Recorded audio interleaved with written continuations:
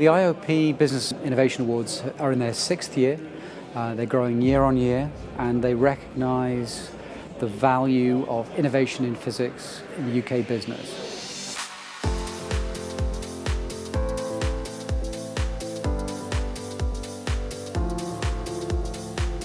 A lot of people within our company have worked very hard for a very long, very long time.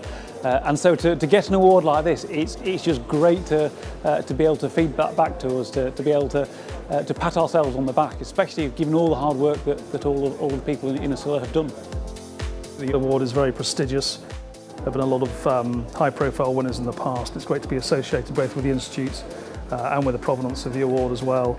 Um, it's going to uh, lift our profile uh, and it's certainly something the investment community is very interested in seeing, the sort of validation, external validation of what you've been working on.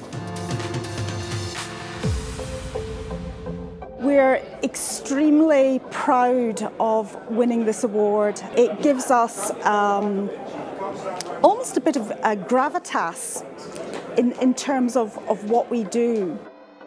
So we're, we're absolutely delighted.